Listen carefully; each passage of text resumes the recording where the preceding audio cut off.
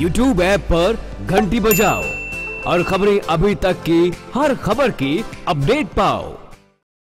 वहीं उत्तर प्रदेश में नाबालिगों के साथ में दरिंदगी की घटनाएँ थमने का नाम नहीं ले रही हैं। ऐसा ही एक मामला रामपुर से सामने आया है, जहाँ एक शख्स ने नाबालिग को अपना शिकार बनाया। जानकारी के मुताबिक केमरी थाना क्षेत्र में रहने वाली एक नाबालिग अपने घर पर अकेली थी। इसी बात का फ़ायदा उठाकर गाँव का ही एक व्यक्ति उसके घर में घुस आया और नाबालिग के साथ दुष्कर्म कर फरार हो गया।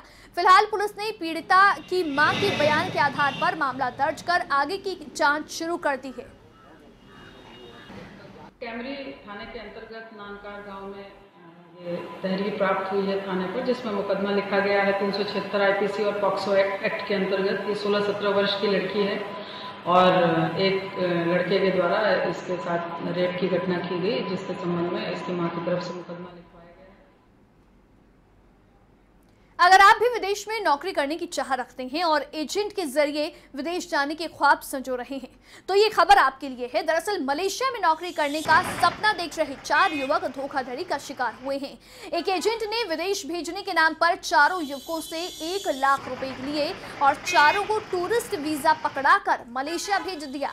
मलेशिया पहुँचने पर चारों युवकों को धोखाधड़ी का एहसास हुआ। वहाँ करीब दस दिनों तक तमाम परेशानियाँ झेलने के बाद जब घर से पैसा मिला तब कहीं जाकर चारों युवक अपने वतन वापस लौट सके।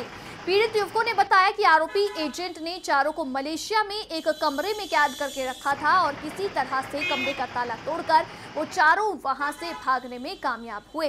इसके साथ ही उन्होंने बताया कि एजेंट ने चारों के वापस आने का टिकट भी कैंसिल करा दिया था। फ़िलहाल पुलिस ने युवकों का बयान दर्ज कर एजेंट की तलाश शुरू कर दी है।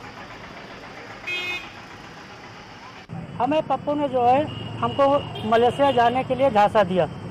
हम लोगों से एक एक लाख रुपया लिया।